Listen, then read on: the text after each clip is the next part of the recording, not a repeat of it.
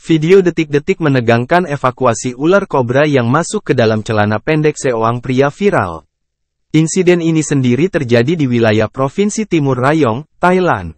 Video evakuasi itu diunggah oleh akun Facebook Nerkwaitai pada tanggal 8 Juni tahun 2024 lalu dan viral beberapa hari ini.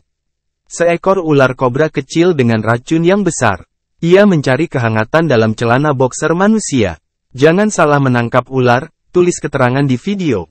Dalam video itu, tampak dua pria dari Snack and Rescue Rayong mendatangi rumah pria tersebut. Sedangkan pria yang celananya dimasuki ular tertidur di atas kasur. Pria itu hanya mengenakan celana boxer warna hitam. Ia tak berani bergerak karena takut ular berbisa itu akan menggigitnya. Dua penyelamat datang dan meminta pria itu tenang.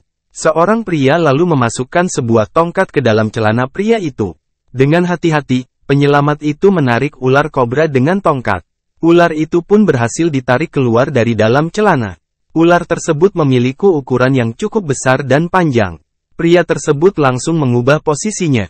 Sedangkan ular itu langsung dimasukkan ke dalam karung oleh dua petugas. Unggahan ini pun mendapat banyak komentar dari para netizen.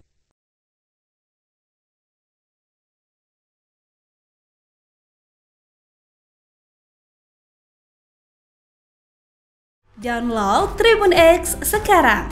Menghadirkan lokal menjadi Indonesia.